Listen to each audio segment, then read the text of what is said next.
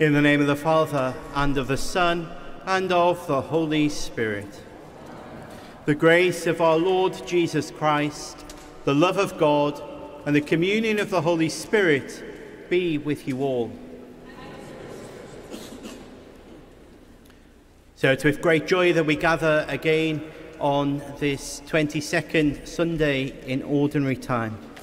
If you're visiting us here in the Cathedral, then a particular welcome um, here today. Brothers and sisters, as we gather around the altar of God, we come to the one who loves us completely and out of his love shares his mercy and his forgiveness with us. So, for those times that we've turned away from the Lord, let us turn back to him now, trusting in his mercy.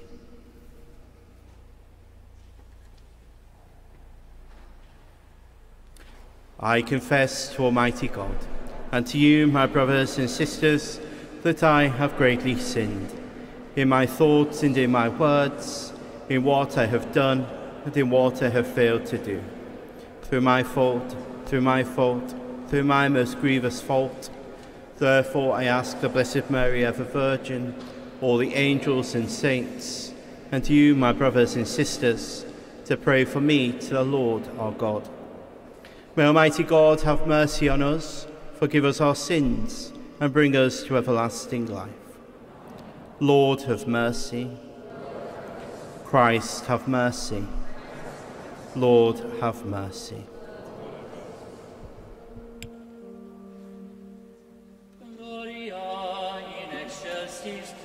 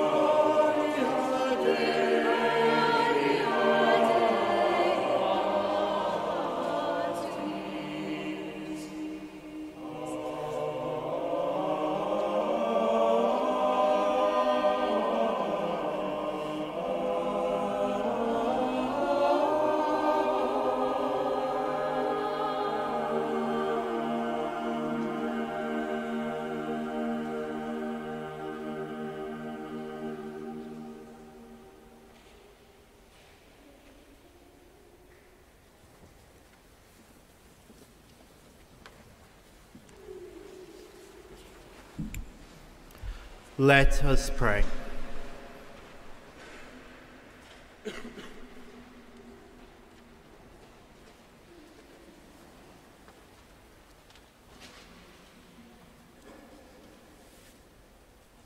God of might, giver of every good gift, put into our hearts the love of your name, so that by deepening our sense of reverence, you may nurture in us what is good, and by your watchful care, keep safe what you have nurtured. Through our Lord Jesus Christ, your Son, who lives and reigns with you in the unity of the Holy Spirit, God forever and ever.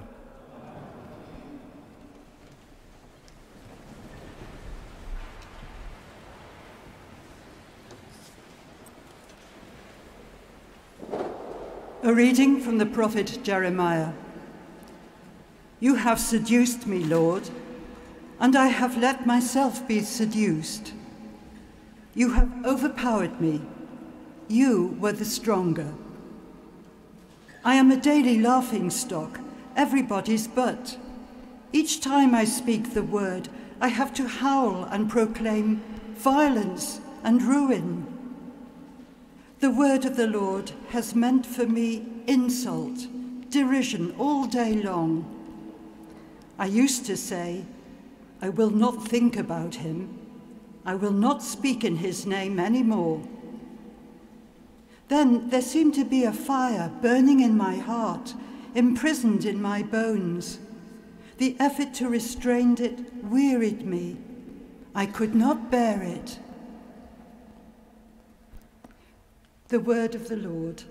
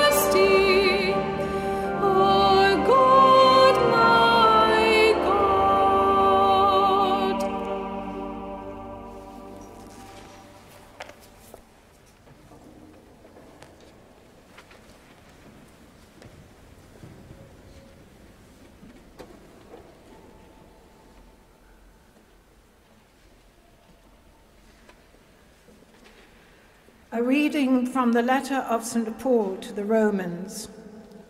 Think of God's mercy, my brothers, and worship Him. I beg you, in a way that is worthy of thinking beings, by offering your living bodies as a holy sacrifice, truly pleasing to God. Do not model yourselves on the behavior of the world around you but let your behavior change, modeled by your new mind. This is the only way to discover the will of God and know what is good, what it is that God wants, and what is the perfect thing to do. The word of the Lord.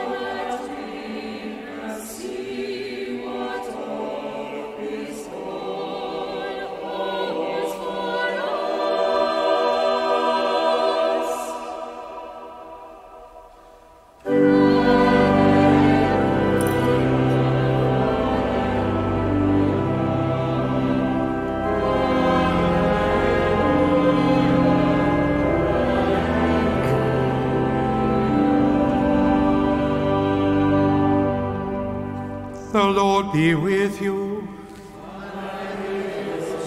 A reading from the Holy Gospel according to Matthew.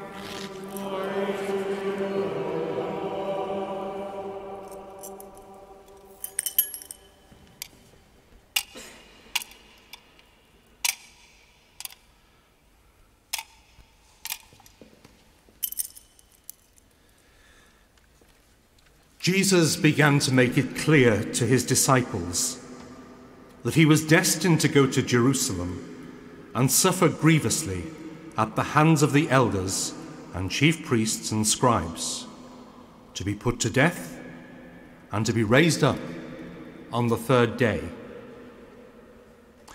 Then, taking him aside, Peter started to remonstrate with him.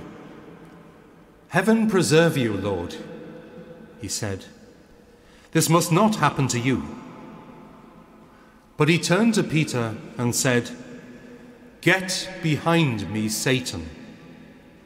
You are an obstacle in my path, because the way you think is not God's, not God's way, but man's.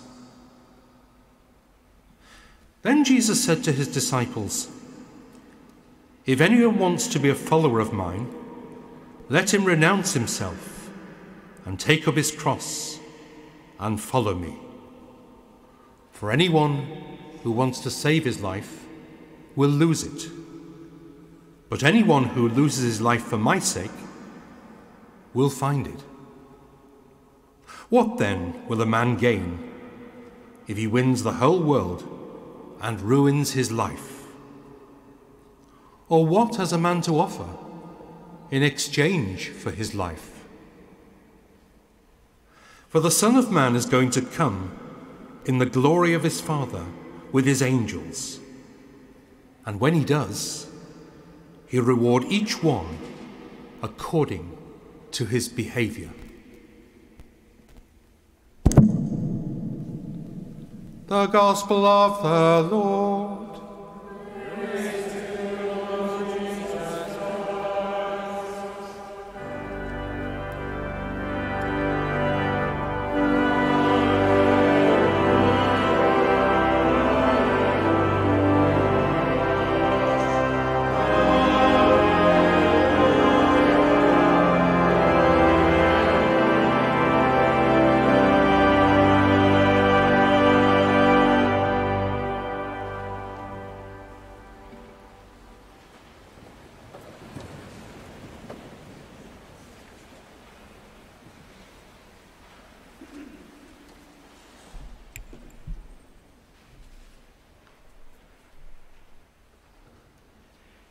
Get behind me, Satan. You are an obstacle in my way. It's quite a change of tone that Jesus has for Peter in this week's Gospel compared to what he was saying in last week's Gospel.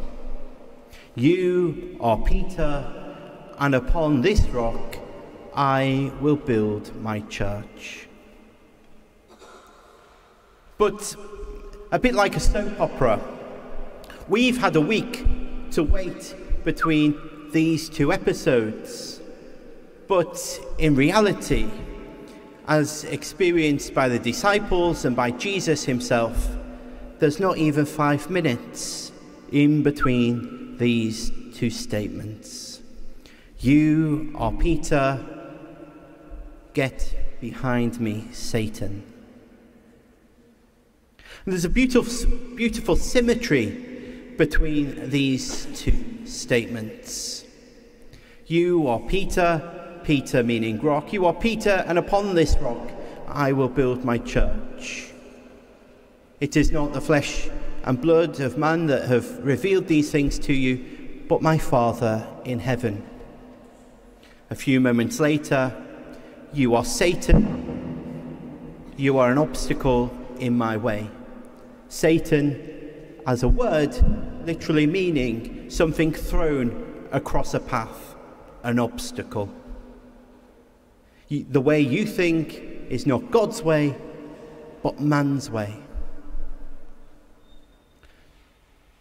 So, where do we stand with Peter in between these two statements and these two realities of what the Lord is saying. If we are to try to follow and emulate the lives of the saints as they seek to follow Christ, what does Jesus' words mean for us. So we are all, having been given, having given our um, profession of faith, having confessed what we believe to be true in the person of Christ, like Peter, we are entrusted with a mission, with a particular task. Like Peter, not in the same way as Peter, um, but in, like Peter, we are all called to be places where the mystical body of Christ can be founded in our lives, in our homes, in our places of work, because of our Christian faith, the church can be planted, the church can be secure.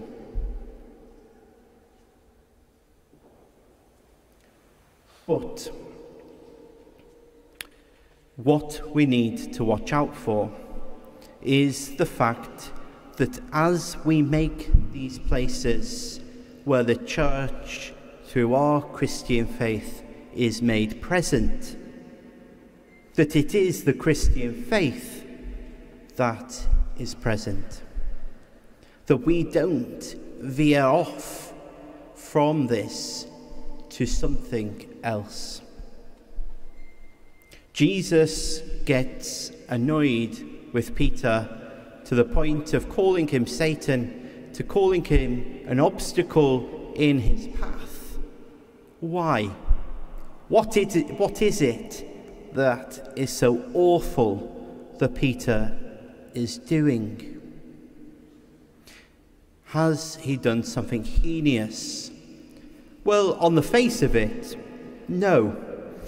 If we look at the face value, Peter has heard Jesus say, Look, I'm going to go to Jerusalem and they're going to murder me. They're going to put me to, the, to death. And Peter says, Well, is there a way of avoiding that? It kind of seems like the friendly thing to throw into the mix, into the conversation. Does this have to happen? But of course, the cross, the passion and death of our Lord Jesus Christ is so central to Jesus' mission.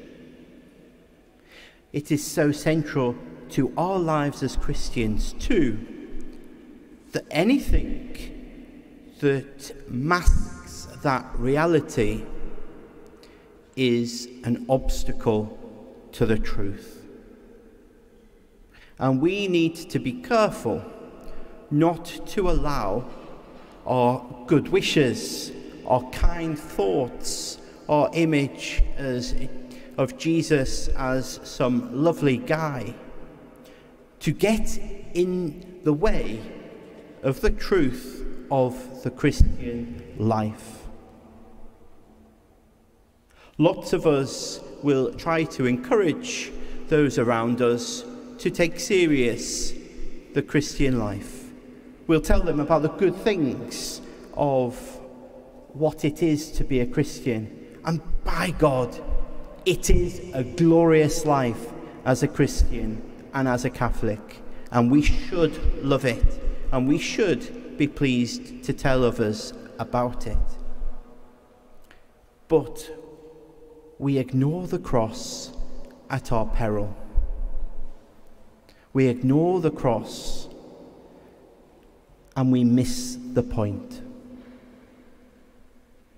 Because if we don't know from the beginning that suffering alongside the Lord is at the heart of our Christian faith, then we are going to get lost and we are going to go missing. We're going to get confused. Because it's only by looking to that image that was once an object of Roman torture and execution and seeing through the person of Jesus Christ, through the actions of his passion and his death to his resurrection, that suffering and death becomes life, resurrection, and glory. So, as we come, as we're fed by the Lord in the scriptures, in the breaking of bread, here at today's Mass, we are given the confidence to follow in that tradition of the apostles, of the saints in being places where our Christian faith allows the church to be present. But that church, that Christian church, is marked by the sign of the cross. the cross of suffering, but the cross that because of the resurrection becomes glorious.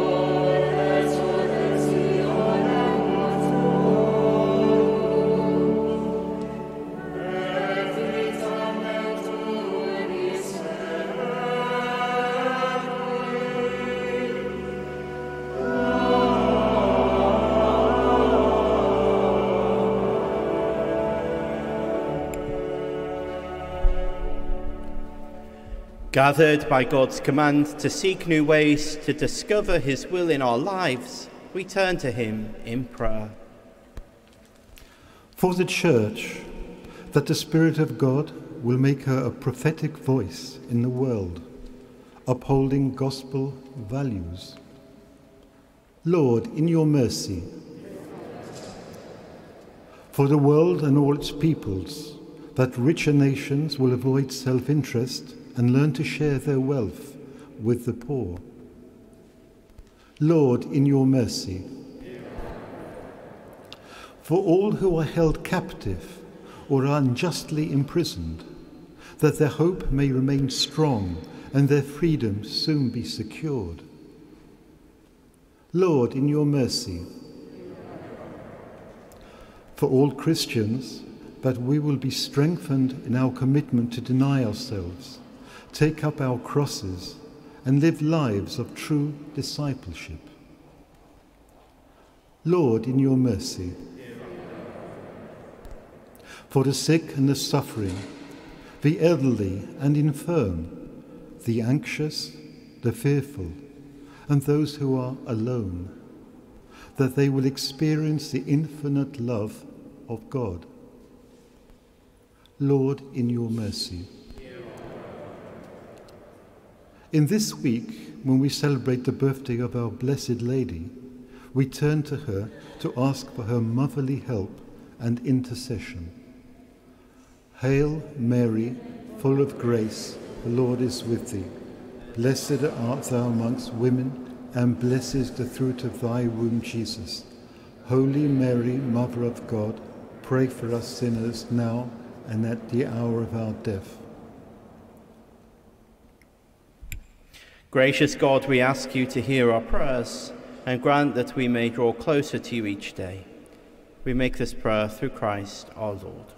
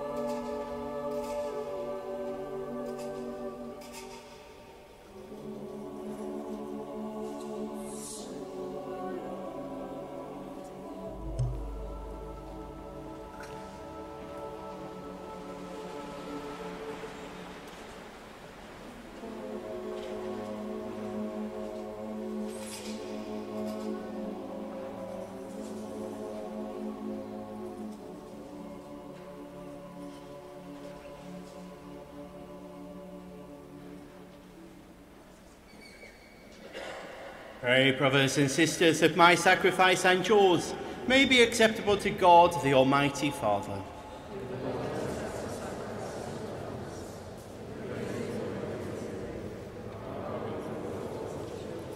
May this sacred offering, O Lord, confer on us always the blessing of salvation, that what it celebrates in mystery, it may accomplish in power through Christ our Lord.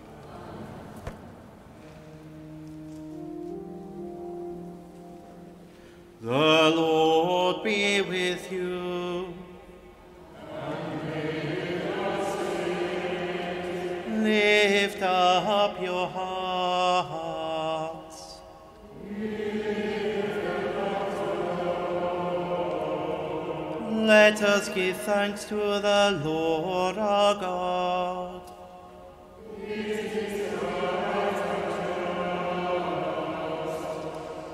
It is truly right and just, our duty and our salvation, always and everywhere to give you thanks, Lord, Holy Father, Almighty and eternal God.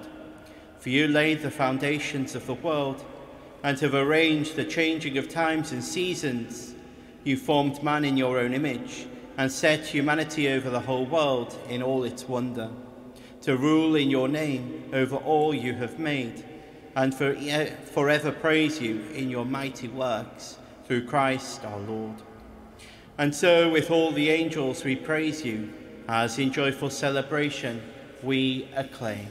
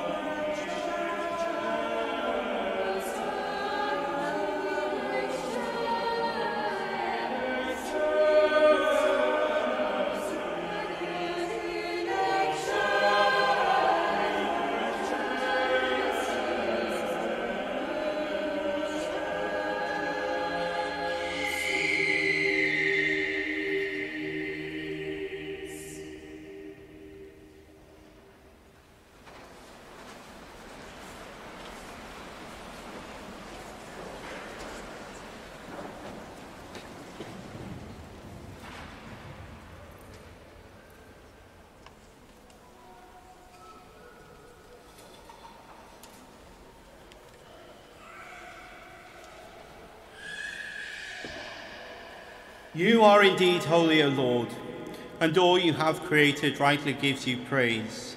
For through your Son, our Lord Jesus Christ, by the power and working of the Holy Spirit, you give life to all things and make them holy.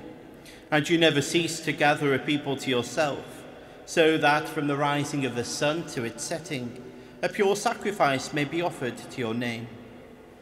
Therefore, O Lord, we humbly implore you, by the same Spirit, graciously make holy these gifts we have brought to you for consecration, that they may become the body and blood of, our, of your Son, our Lord Jesus Christ, at whose command we celebrate these mysteries. For on the night he was betrayed, he himself took bread, and giving you thanks, he said the blessing, broke the bread, and gave it to his disciples, saying, Take this, all of you, and eat of it, for this is my body, which will be given up for you.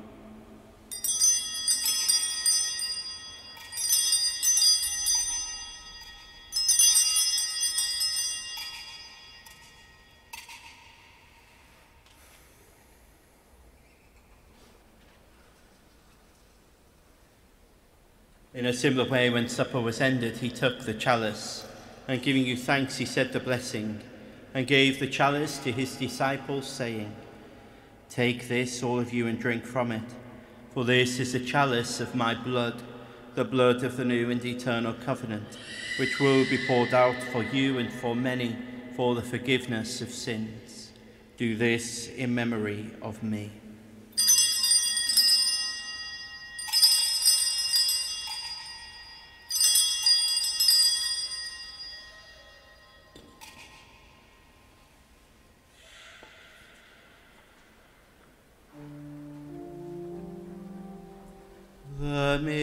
Mystery of faith.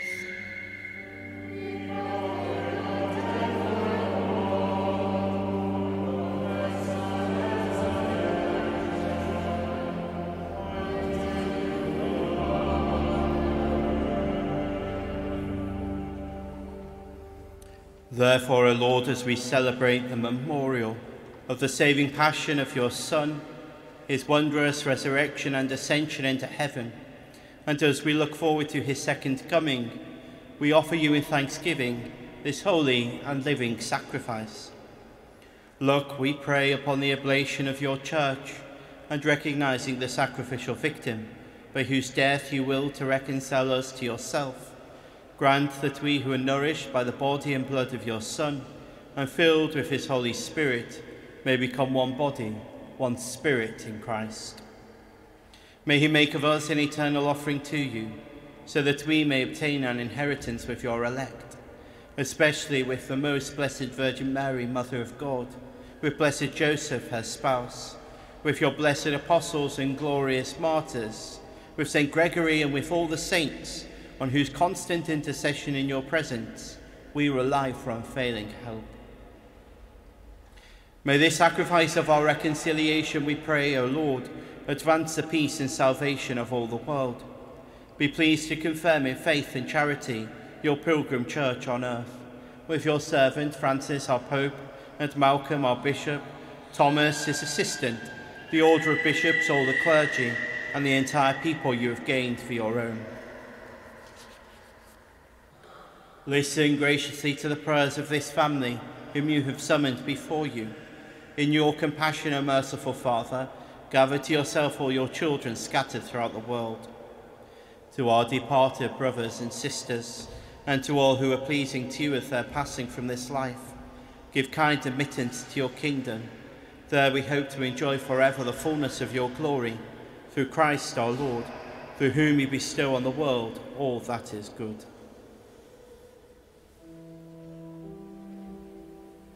Through him, and with him, and in him. O God, Almighty Father, in the unity of the Holy Spirit, all glory and honor is yours forever and ever.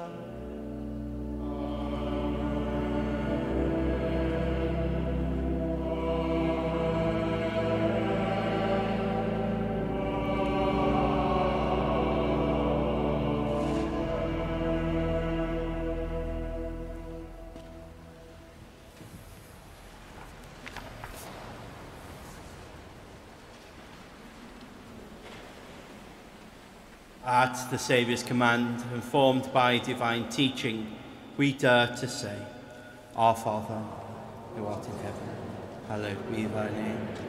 Thy kingdom come, thy will be done on earth as it is in heaven.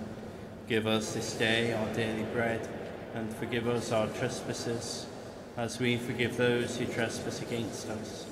And lead us not into temptation, but deliver us from evil. Deliver us, Lord, we pray, from every evil. Graciously grant peace in our days, that by the help of your mercy we may be always free from sin and safe from all distress, as we await the blessed hope and the coming of our Saviour, Jesus Christ. Lord Jesus Christ, who said to your apostles, Peace I leave you, my peace I give you. Look not on our sins, but on the faith of your church, and graciously grant her peace and unity in accordance with your will, who live and reign forever and ever. The peace of the Lord be with you always. And with your spirit. Let us offer each other the sign of peace.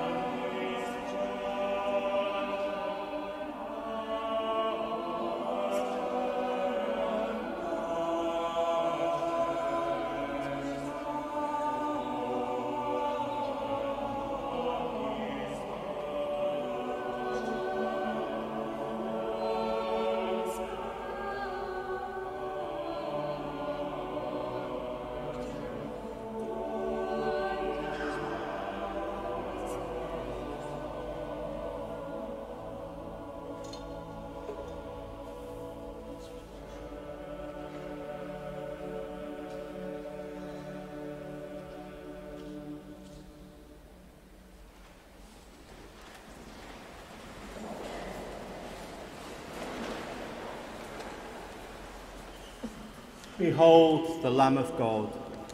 Behold him who takes away the sins of the world. Blessed are those called to the supper of the Lamb. Lord, I am that you should enter into my room, say the thing, and my soul shall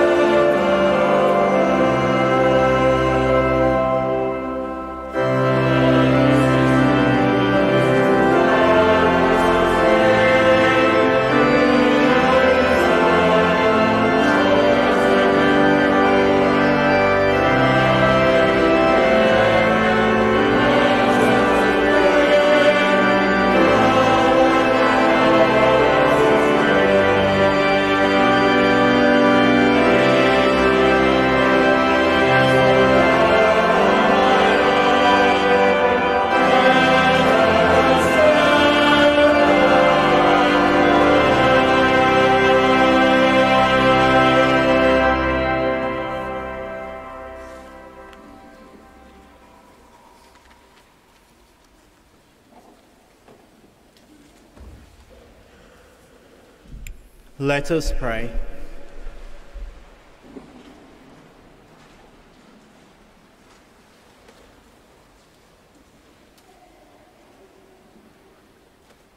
Renewed by this bread from the heavenly table, we beseech you, Lord, that being the food of charity, it may confirm our hearts and stir us to serve you in our neighbour. Through Christ our Lord.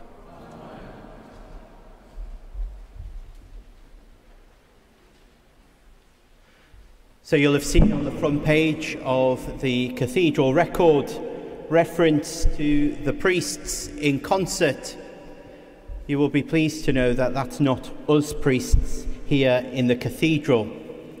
They, these are actual priests who can sing. I know I said in my homily that suffering is a part of the Christian life, but I don't quite mean that much. Talking of priests, um, Paul is um, now going to start, um, he's going away this week um, for his second or first, depending how, how you count it, year at seminary. Um, he's going to Allen Hall, so our prayers go with him. Um, he needs them. Not just him, all of the seminarians need them, okay? It's, it's a tough slog, but it's mighty worthwhile. So um, good luck and be assured of our prayers, Paul. The Lord be with you. May Almighty God bless you, the Father, and the Son, and the Holy Spirit. Go in peace, glorifying the Lord by your life. Thanks be to God.